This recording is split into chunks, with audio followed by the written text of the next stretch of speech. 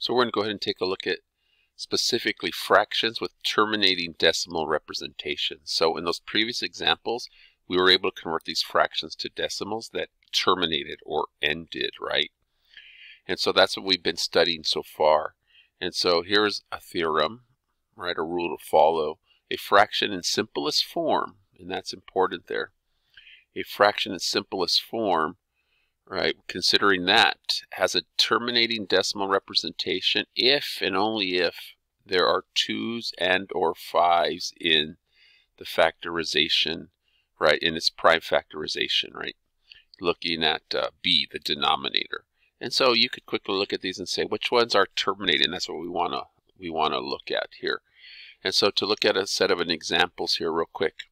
4 over 3 would be what we call a repeating because notice the denominator has a 3. It needs to have 2's and or 5's in that denominator in b. And it has a 3, so it's going to be repeating. 7 over 8 is 7 over 2 cubed. You can see that um, since there's only a 2 in the denominator, it will be a terminating decimal. What is its decimal? I'll convert that into a base of 10 in the denominator and you will see you end up with 0.875. You can also check this with your calculator, but I want you to understand what makes these terminating or non-terminating, right, or repeating. 15 has a 3 and a 5 in its in its denominator. And so that's why in this one, this one would be repeating because if you consider um, 1 over 15, right? 1 over 15 is equal to 1 over 3 times 5. And here it has to have 2's and or 5's only. Here, 3 over 16 is 2 to the power 4. And then you can see there's only 2's in the denominator in simplest form, so it's going to be terminating. So important idea of why decimals terminate. Again, has to do with what's in the denominator. It has to be a power of 5 because those powers of 5 match up with, I mean, sorry, pow 2's powers of 10 because they match up with our base 10 notation. Let's try another one. Let's go on and take a look at how would we order decimals. And so that's a, a, a traditional um, topic that students struggle with, especially when the decimals are not of the same length. And so terminating decimals can compared many different ways. And so when we look at them here, um, there are multiple ways to do it. The most common algorithm is practiced is to kind of put them at the same length, right? You can use a hundreds chart, you can use a number line.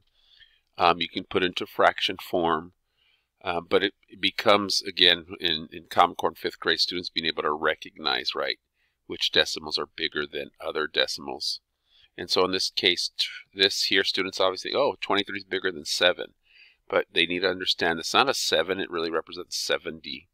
And so you can see that this is bigger than this. And the way we do that is, is trying to put it into a common denominator. This is 7 tenths and 23 hundredths. So let's put in a common denominator and now we can compare them. And that's what we're doing right here when we make it 0.70. And same thing here. What are we doing here? Um, this here is uh, technically 135 over a thousand. This one here is 14 over a hundred. And if you're going to have a common denominator, it's 140 over a thousand. And so then you can see this one has to be bigger there. And so that's how we would order them. Um, I want you to look at these examples. I have the solution here. You can also take a look at uh, um, this situation here of using uh, mental math and estimation here. So now we have some idea of size and could compare them. We can now use what we've done in the past, compatible numbers, to do some of these calculations here. And so again, the decimals follow the same rules of addition that we've had before. I would move these together and you can see some of these explanations here. A half times a 4, I would do that first. Again, you can use associative property to do that. 6 times 8.5, this is a distributive property. Notice here, you can turn the 8 into 8 plus 0.5 and then distribute 8 times 6 times 8, 6 times a half, which is 3. So again, we can use our Math-O-Magic here to do our calculations. This one here, let's compensate, turn this into uh, turn this into a 2. So add 0.02, subtract 2 here, and you can see you end up with um, additive compensation here. Here we use the equal additions method, turn this into 7.38, turn this into 5, and now we can subtract. Again, so the same magic works uh, just like if there was no decimal point, like if these were whole numbers, we can do the same thing. And this one here, this one is um, going to be distributive property also. If we notice that there's a, a, a 1 fourth or a 0.25 that can be taken out, you can do 17 plus 23. There's your 40, and then 1 fourth of 40 is 10. So something to think about with that.